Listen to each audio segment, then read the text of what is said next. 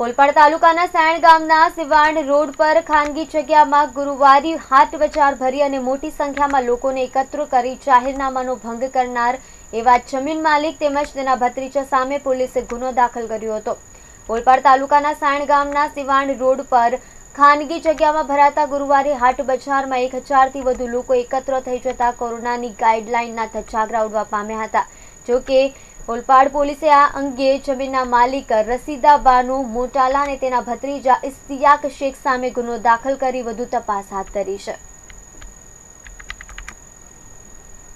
નામ છે મારું વિનયનગરમાં રહું છું. અહીંયા મેરો ભરાય છે. દર ગુરુવારે પાંચ હજાર માણસ ભેગું થાય છે.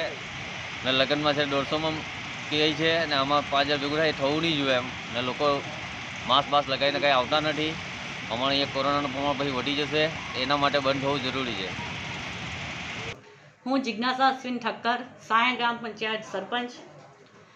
ગઈકાલે સા- સાયણ ટાઉનમાં ખૂબ મોટા પ્રમાણમાં ગુરુવારી હાટ બજાર જે સાયણ સીવણ રોડ પર અને સાયણ સુગર રોડ પર જે ભરાય છે, તેમાં ખૂબ મોટા પ્રમાણમાં લોકો ઉમટી આવ્યા હતા. તેની જાણ મને થતાં ગુજરાત ગુજરાત પંચાયત હેઠળ સરપંચ પહેલાં સૌપ્રથમ પોતાના ગામનું હિત વિચારે છે. તે હિતને ધ્યાનમાં લઈ હું સાયણ ગામમાં જે હદ બજાર ભરાય છે તે કોવિડ નાઇન્ટીનની પરિસ્થિતિને ધ્યાનમાં રાખી પંચાયત એના પર કાયદેસરની માગ જે જગ્યા પર હદ બજાર ભરાય છે તે જમીન માલિકોને પંચાયત નોટિસ પાઠવે છે અને હદ બજાર બંધ કરવાની એ તજવીજ અમે કાયદેસરની હદ ધરી દીધી છે.